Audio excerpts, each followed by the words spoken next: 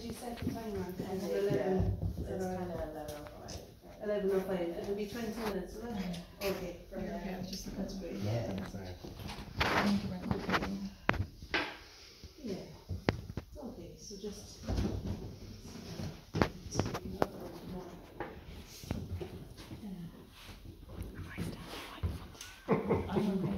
Sorry, I I know. Okay. I might end up sitting on your knee, Katrina. Yeah, I do recommend um, having a bit of space. If you even Yeah. just taking one step back is handy. You know, just to Yeah. take the feet off and uh, feel that you're um, Your arms free to move. I feel really- I know it's ridiculous now, but that little bit of wood sticking out there is annoying. I'm just going to pull this over, cover that.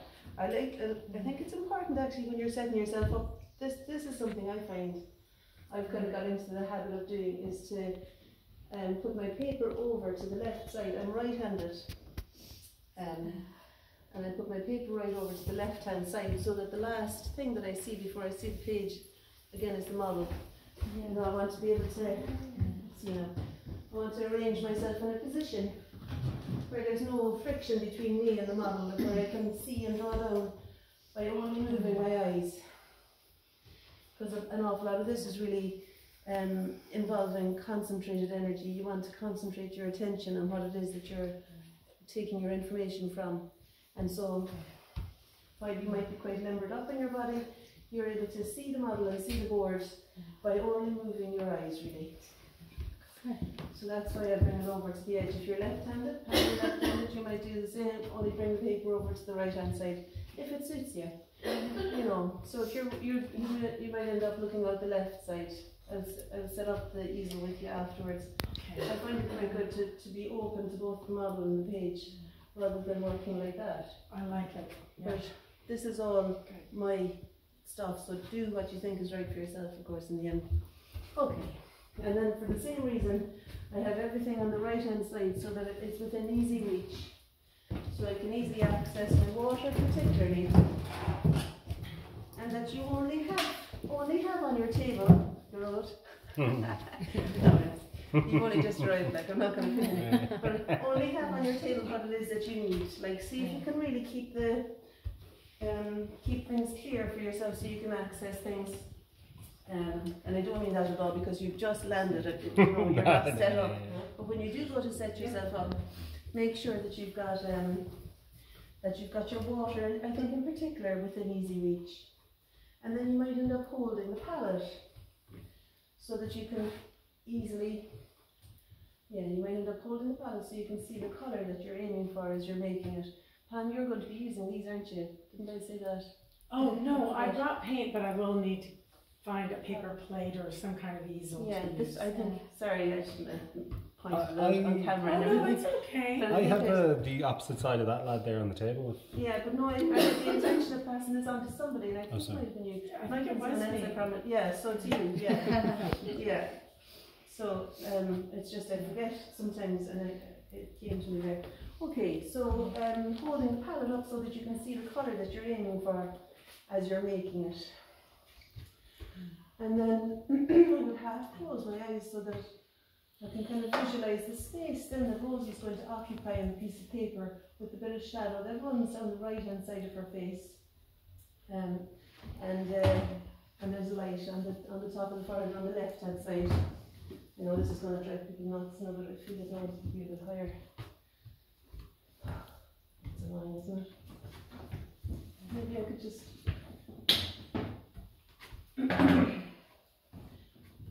This is um, an easel that needs to use a hammer to kind of get it off last night. You see, I don't know if it's. Oh, well done. Maybe it will be. Oh, is it because of that thing at the top? Well, let's see now. It did go up a bit higher there, did it? Mm-hmm. So that might be fine. No, that's good, David. Thanks. Yeah. Magic. That was a magic inch. and actually, it might have moved it all. No, it did, it did. Strange thing that happens to me. I have to adjust things. okay, all right, so let's see now. Okay, so I'm going to start by making a colour to represent, I think, the colour of the shadow on the right hand side of Rosie's skin. And actually, I'm going for the burnt sienna first here. Um, so when you're going to paint, I would recommend that you find the colour that best represents what you're seeing and the colour that it is you're, making. Like. Um, yeah, and I'm going to put in a bit into that. Maybe a bit of sap green. So the sap green then looks like that. Because I want to make it just a little bit um, more, uh, less colourful. Yeah, I'm all kind of nervous as well. Like, so it gets into your belly, doesn't it? Yeah. So I just need to shake it off. It's lucky I put on my loose top because I ate nearly a whole pack of biscuits last night. no, no, it a bit too green, so I'm sticking a bit of cadmium red into it. Okay. Yeah, so there's a kind of a triangle, I suppose, of, of shadow that comes over here is down for the temple. And then there'll be the horizontal of the eyebrow, roughly there. And I want you to have a little bit of breathing space. She's slightly turned to the left as far as I'm, um, you know, Rosie's face is turned away from me a little bit, which is lovely. And I just wanted there to be a little bit more space on the left side. So, um, just keeping it kind of an awareness of the slight three quarter view. Um, now I think if I put a bit of ultramarine blue into that, it'll darken it down just a little bit more for where the eyebrow, for where the um, eyebrow stops there and kind of the curve coming in um, for the beginning of the, you know, the socket of the eye. The, the bit here seems to me an important bit to establish because it not only describes the cavity of the socket, but it also lets us know that the bridge of the nose is brighter to the left of it and will therefore extend out into the light. And then there's a little bit of shadow underneath. You kind of want to watch yourself getting close in, you know, so keep keep going back and forth, Brian McGuigan style. I'm not, I'm not sure I like that. I'm more into like mm. The graceful. Wonder Woman or some sort Yeah, of thing. Yeah, yeah. we'll see. Anyway, I know I do. I, quite, I, I think I get what he means, you know, that kind of going in for punch. But he could have used a dancer. He could Instead have of a done box. Yeah, on the board of them. Katie Yeah. Taylor. Yeah, yeah. we'll, we'll, uh, we'll sign a petition for Neil to change that story. right. So I think the other side of the socket too, as, as I pull it up, yeah, the reason I was talking about that was the, the fact that like standing back means that you gen, you, you get to kind of consider the full picture again. Um, and don't get kind of hooked into any one little bit. So what am I doing now? The little shadow that's kind of hugging the eyeball on the underside of the eye. Um, and a slightly smaller brush. And I think the burnt sienna again. Because I don't really want there to be a big gaping area there. Um, so that was kind of finding the shape of skin between the eyebrow and the eye really. Um, ah. Okay, so what am I doing now? Let's see. Trying to find the channel. I guess it'd be no harm to do something to explain the eye, uh, sorry, the side of the nose there.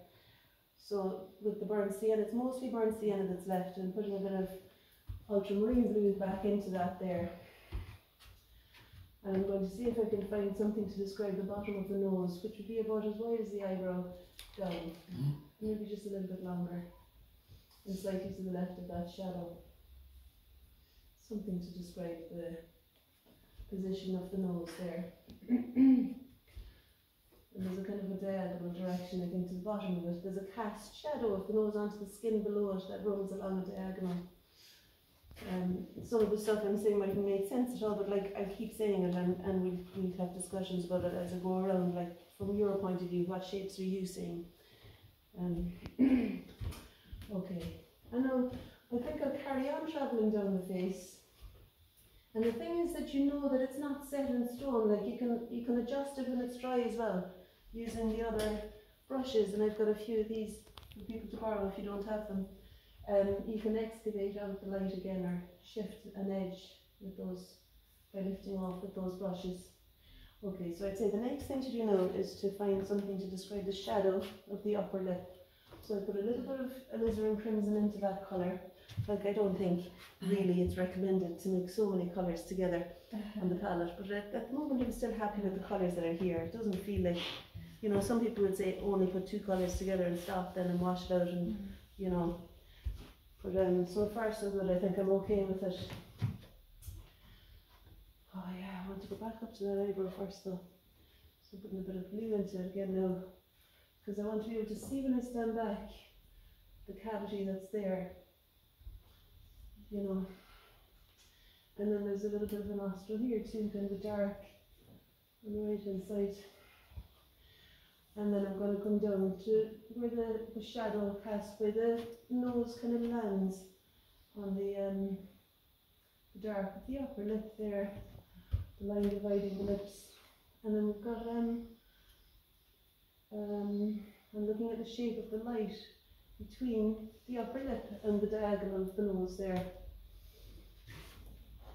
I think that was no, it was need for it to be so dark there, that's it. Okay. So working with the, the shadow, yeah, the upper lip, I might make it a little bit warmer again, so using a bit more of the alizarin crimson. You know, the alizarin crimson is the darker of the two reds. It's a bit dirty there. Just to identify it as being a different colour from the rest of the face. And I'm going to push and lift, push and lift so that um, you get the little fulcrum that dips in between the two hills of, of lip there. And then because she's turned to three quarter view, I'd imagine this will be steeper. This side of the of Rosie's lip will be a bit steeper than the other side will be. And this one goes a bit lower. I think on this side it drops down maybe a little bit lower. And the, the line, the, the corner, the darkest bit of that will cut through the eyebrow. You know, kind of keep an eye on where whereabouts the corner of the mouth is in relation to the eyebrow. Um, yeah, oh gee, there's a lump of crimson in the brush there.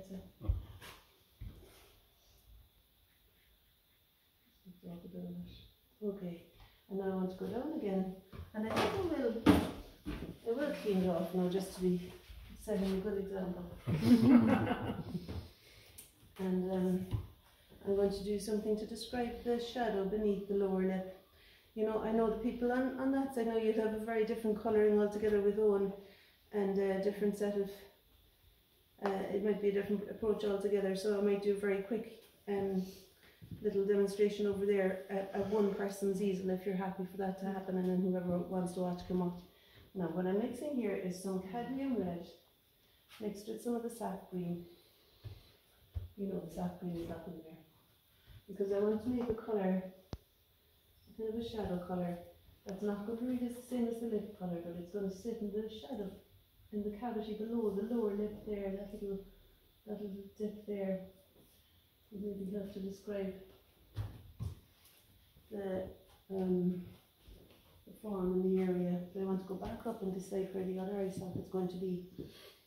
Um, what's I doing here now? I think that, you know, I'm inclined to go with the burnt sienna and the ultramarine blue in order to do the, the, the colour of um, Rosie's eye sockets, the shadows that I'm seeing in there with my eyes half closed, it's quite dark.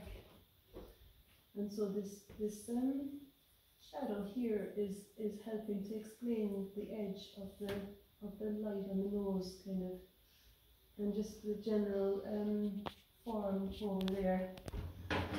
Just notice a big lump of blue in it now. Brush.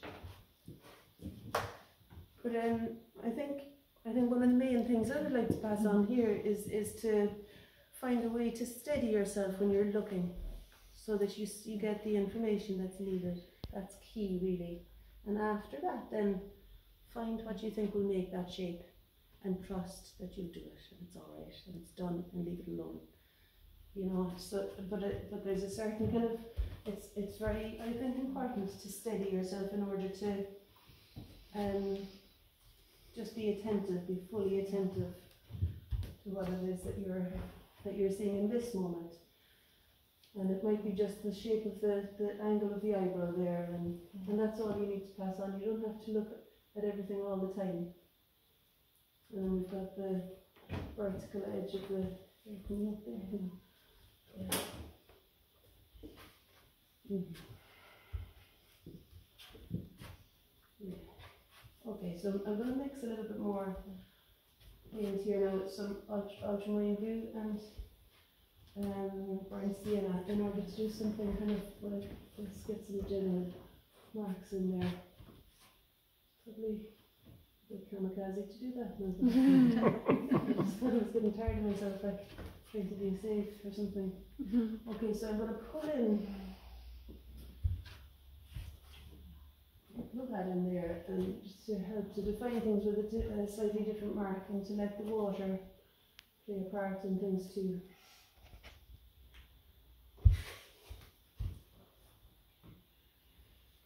Um, yeah.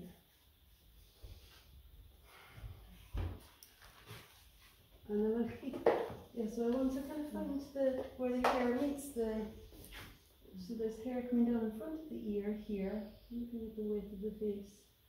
Hair coming down to the front of the ear and then behind the neck it staggers back. Um, here, it's 11 o'clock I think I to have some sort of success before stopping. Yeah, so like, let's see. It's not gonna be easy to lift this up, is it?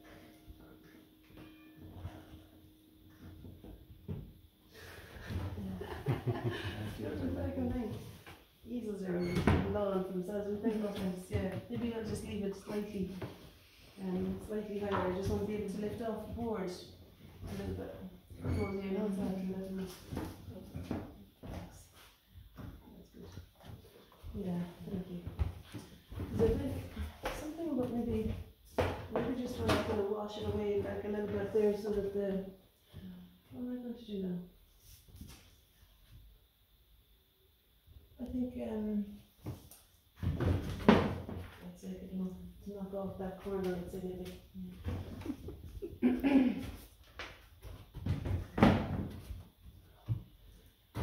Mm. Okay, I'm gonna carry on with the, do another five more minutes if that's alright. Yeah. And I think I'll, I'll try and carry on with the, um, shadow that runs down the side of the face there. Um, find, maybe to find where the jawline would sit here.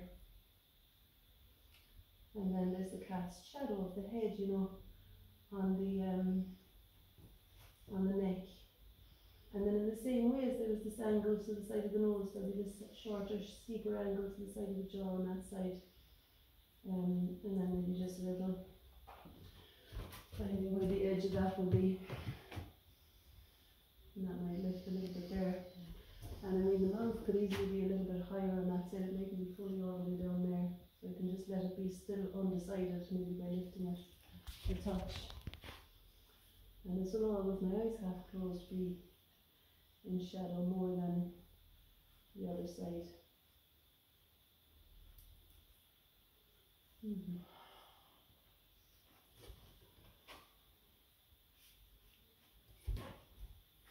Yeah, okay.